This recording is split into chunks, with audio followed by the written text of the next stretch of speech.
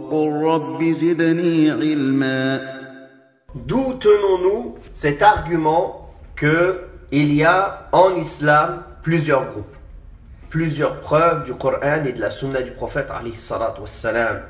Premièrement, quand Allah tabaraka wa ta'ala a ordonné de suivre et de croire comme les premiers qui ont cru avec le prophète Mohammed sallallahu alayhi wa sallam, qui sont les sahaba, al-jama'a. et il a ordonné de les suivre en les louant et en leur faisant des éloges. Ceux qui ont précédé, les premiers parmi ceux qui ont fait légir et les auxiliaires, et ceux qui les ont suivis dans la perfection, Allah est satisfait d'eux et ils sont satisfaits d'Allah, dans le sens des versets. Donc ce verset vient prouver l'obligation de suivre cette voie-là. Et si Allah ordonne de suivre cette voie, automatiquement, il y a un groupe qui va se plier à l'ordre d'Allah et il y a un groupe qui va désobéir.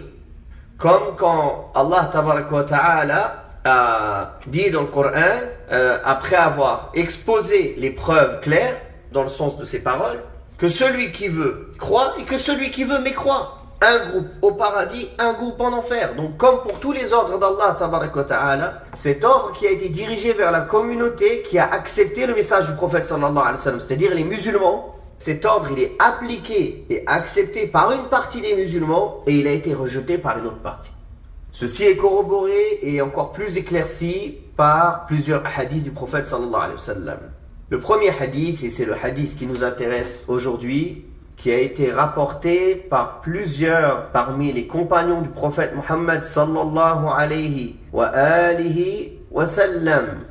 Ce hadith-là, que les gens qui n'ont pas de connaissance dans la science du hadith ont voulu déterminer qu'il était faible, alors qu'il a été rapporté de plusieurs voix authentiques et parmi les sahaba ceux qui l'ont rapporté d'une manière authentique il y a Anas ibn Malik, Abdullah ibn Mas'ud, Jabir ibn Abdullah, Sa'd ibn Abi Waqqas, Abi Darda, Ali ibn Abi Talib, Abu Musa al-Ash'ari et d'autres parmi les sahaba du prophète sallallahu alayhi wa sallam qui ont chacun d'entre eux rapporté le hadith de l'iftiraq avec une chaîne de transmission ou acceptable ou authentique.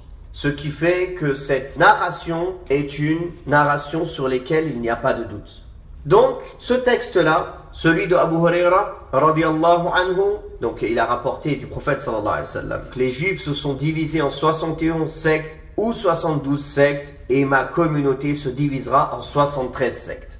Le hadith de Abi Amir Abdullah ibn Luhay qui a dit nous avons accompli le pèlerinage avec Muawiyah ibn Abi Sufyan anhuma. Ainsi, quand nous sommes passés par Mecca, il s'est levé pour prier la prière de Dhor. Donc le messager d'Allah sallallahu alayhi wa sallam a dit, donc après il a cité la parole du prophète sallallahu alayhi wa sallam. En vérité, les gens des deux livres se sont divisés en 72 sectes et en vérité, cette communauté se divisera en 73 sectes. De même, la version de Auf ibn Malik qui dit que le messager d'Allah sallallahu alayhi wa sallam a dit les juifs se sont divisés en 71 sectes, une au paradis et 70 dans le feu. Les chrétiens se sont divisés en 72 groupes, 71 dans le feu et un groupe au paradis. Par celui dont l'âme de Mohammed est dans sa main, ma communauté se divisera en 73 sectes, une au paradis et 72 dans le feu. On a demandé qui sont-ils, ô messager d'Allah? Il a dit le groupe. Dans une autre version authentique d'Abdullah ibn Amr ibn al-As, ce sont ceux sur quoi je suis aujourd'hui moi, ainsi que mes compagnons. Dans la version authentique de Abi Umama, c'est le plus valeureux des groupes. Donc, pourquoi on l'appelle le groupe sauvé? En référence à ce hadith, car ce hadith parle de 72 groupes mis en garde par le feu. Et un seul groupe est sauvé du châtiment du feu. Donc c'est en rapport à ce hadith qu'ils ont été nommés le groupe sauvé.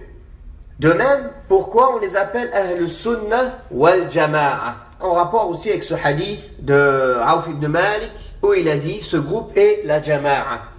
Ce sont les compagnons du prophète Mohammed sallallahu alayhi wa sallam et le grand groupe, c'est-à-dire le groupe le plus valeureux, ce sont aussi les compagnons du prophète sallallahu alayhi wa sallam. Donc on comprend que les trois sens, la jama'a, as-sawadul a'zam, ou bien ce sur quoi je suis moi aujourd'hui et mes compagnons, ont le même sens.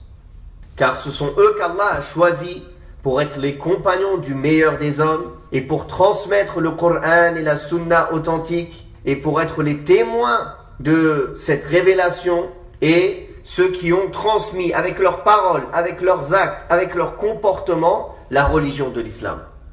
Et ce sont ceux qu'Allah a loués dans le Coran et dont il a fait les éloges. Subhanahu wa ta'ala. D'ailleurs, le messager d'Allah sallallahu alayhi wa sallam, dans plusieurs hadiths, a fait les éloges de ses compagnons. Et il a dit, les meilleurs des gens, ce sont ceux de mon siècle, puis ceux qui les suivent, puis ceux qui les suivent. Certains vont dire que le groupe victorieux, secouru, ce n'a pas le même sens.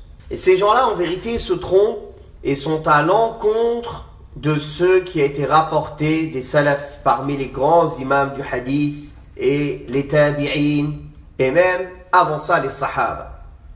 Car en réalité, les gens de la sunna, les gens du hadith, le groupe sauvé, le groupe secouru, les salafis, les gens du athar, tous ces noms sont des dénominations différentes pour citer un seul et même groupe. Les musulmans qui sont sur l'islam sur lequel les a laissés le prophète Muhammad sallallahu alayhi wa alihi wa sallam. D'ailleurs, Abdullah ibn Mas'ud radiyallahu anhu il a été questionné sur la jama'a. Il a dit la jama'a, c'est le chemin sur lequel le messager d'Allah sallallahu alayhi wa nous a laissé à sa mort et c'est le chemin droit et c'est la vérité même si tu es seul dessus.